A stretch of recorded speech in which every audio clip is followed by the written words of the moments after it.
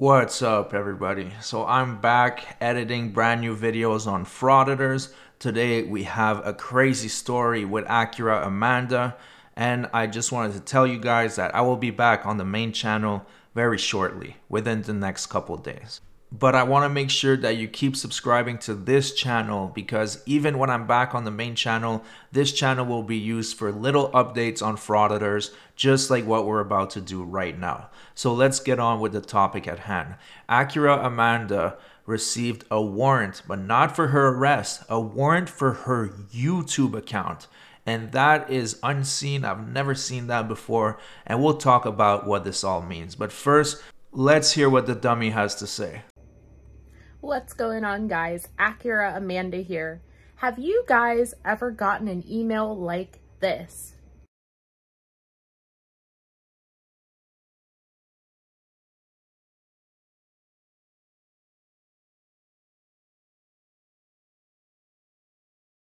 So apparently the West Palm Beach Police Department is on its latest fishing expedition. That's right so the West Palm Beach Police Department has served Google apparently with a search warrant to gain access to my Google account. And what they're looking for, who knows, guys? It's just another fishing expedition by yours truly, the West Palm Beach Police Department. Guys, I will keep you updated as this comes along. I'm going to try to reach out to Google and there is a case number that's associated in this email. I have already done a records request for this case number.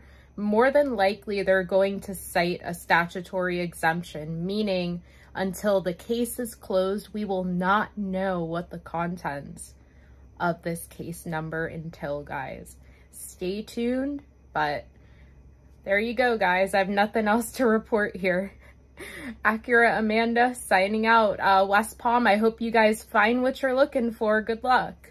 So let's read the document and then we'll talk about it. Dear Google user, on June 29, 2023, Google received legal process issued by West Palm Beach Police Department directing Google to produce records related to Google accounts that are linked or associated with a specified identifier. You are receiving this email because your Google account is an account that is linked or associated with a specified identifier in the legal process. The agency reference number or case number on the legal process is, and there's the number, unless we promptly receive a copy of a filed motion to quash that is file stamped by a court of competent jurisdiction, Google may provide responsive documents pursuant to applicable law, such as the Electronic Communications Privacy Act. In most cases, the file stamp motion to quash must be received by Google within seven days of the date of this notification. So, in my opinion, obviously, I'm not a lawyer, but I think even a toddler could understand what's going on here. Is that the police department launched a criminal investigation in Acura Amanda's YouTube activities. That is obviously what's happening.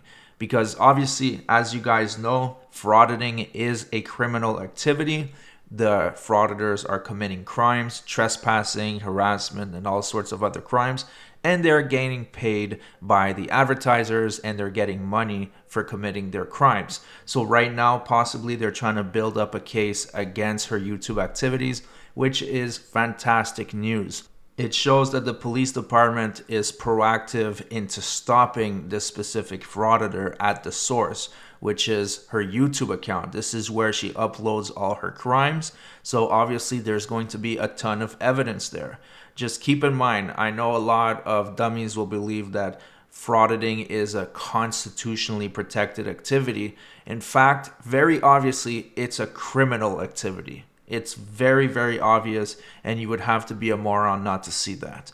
Anyway, so that's it for the video today. I hope you enjoyed it. I'll be posting new updates on this channel regarding many frauditors, so make sure to subscribe to this channel as well as the main one, and I'll see you guys on the next one.